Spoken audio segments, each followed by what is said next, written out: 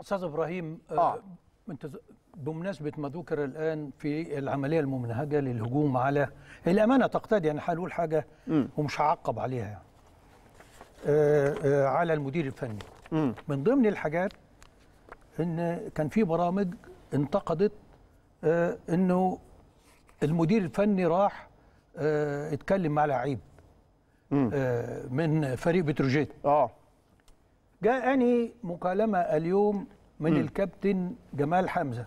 امم وقال لي يا كابتن عدلي أنا بكلمك لأني أنا لم أقصد أن يفهم أنني أهاجم المدير الفني.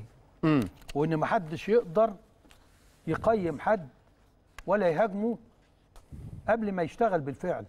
امم ولكن أنا كنت بوضح إن دي ثقافة مش موجودة عندنا إن مدير فني يروح يشكر لعيب ربما ربما يساء فهمها أو تساق في اتجاه إن اللاعب يحصل له نوع من ال يعني الغرور أو آه، يؤثر على قيمته التسويقية. قلت له يا كابتن جمال مم. الكلام اللي ضايق الناس إنك عندما ذكر هذا الأمر الناس لم تربط بما قاله فيريرا وهو يشيد ب آه، إيبوكا لاعب انبي آه.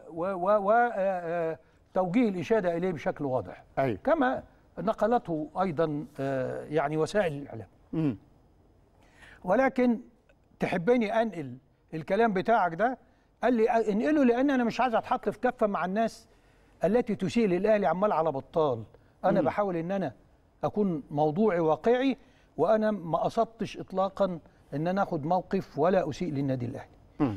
هذا كلام أقوله ولا أعقب عليه.